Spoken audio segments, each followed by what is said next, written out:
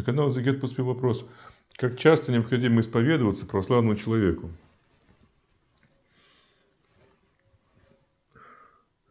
Ну, э, надо сказать, что э, вся жизнь православного человека это, – это покаяние.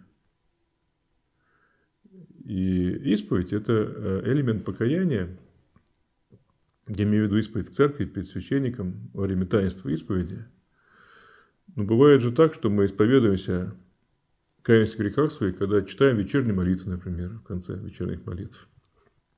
Когда мы просто чувствуем угрызение совести и можем перед Богом покаяться. Господи, прости, помоги мне. А, когда мы э, прощаем друг друга ради Христа и говорим «прости», э, веря, что мы простим, Господь нас простит, это тоже покаяние наше, тоже такое движение в сторону Бога. Поэтому, а если наша жизнь покаяние, если покаяние, оно многостороннее, многообразное, то, конечно, исповедоваться можно так, как э, позволяет обстоятельства, я имею в виду в храме. Вопрос, как исповедоваться?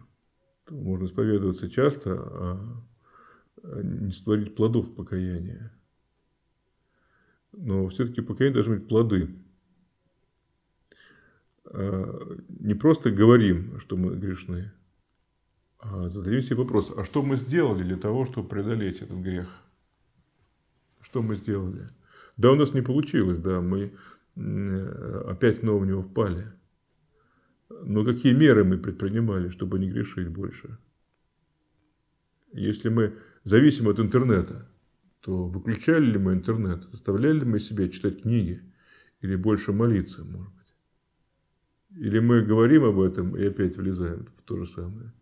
Если мы грешим чревоугодием, то а, что мы сделали для того, чтобы не чревоугодничать? Хоть немножко воздержались от еды, поголодали, или лишили себя чего-то вкусного именно ради Христа, а не ради диеты. Но это мелочи, конечно. Но тем не менее, а, вот а, это касается любого греха. То есть, что мы сделали для того, чтобы не грешить? И тогда наша исповедь будет иметь плоды. Обязательно будет иметь плоды.